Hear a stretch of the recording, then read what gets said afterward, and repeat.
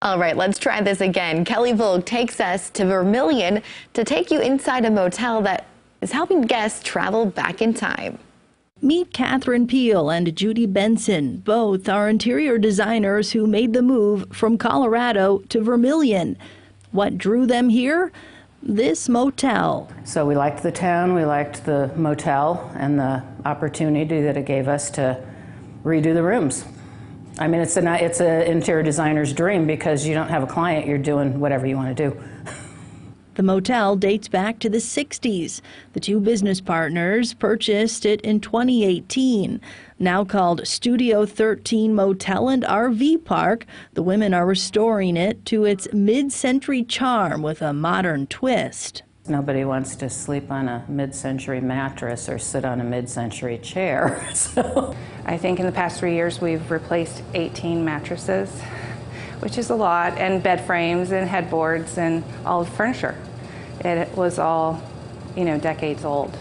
The motel features a pub and 18 rooms. Four are completely renovated so far, and the plan is to redo all of them. Kind of went with a neutral, neutral walls and neutral carpet, and then picked different mid-century wallpapers to to kind of be the artwork. Aside from plumbing and electrical updates, this duo has been doing the work themselves. When we're not working uh, in a room or doing some kind of manual labor or cleanup or that kind of thing, then we're doing the business of a motel, which is um, renting the rooms, cleaning the rooms, you know, keeping guests, you know, happy with their stay. Uh, so it's it is it's a you know 24/7 kind of job uh, here, doing the remodeling ourselves and the actual business of the motel.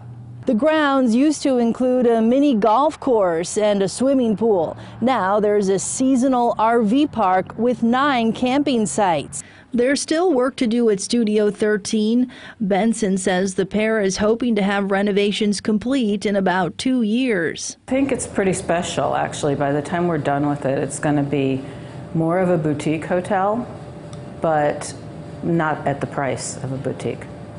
These two have embarked on a journey that's been both fun and challenging. You make progress and then there's fires to put out, you know, pipe bursts in a room and it floods. Okay, well, maybe that's the next one that we remodel because we're going to rip the carpet out anyway. So, you know, it, it kind of, you plan and then it doesn't work out that way, but you keep going. And you can see all that hard work in this motel where mid century and modern meet. With Ion on KELOLAND. I'm Kelly Volk. Definitely a lot of work. Now, the motel is open for business year round, but the RV park runs May through October.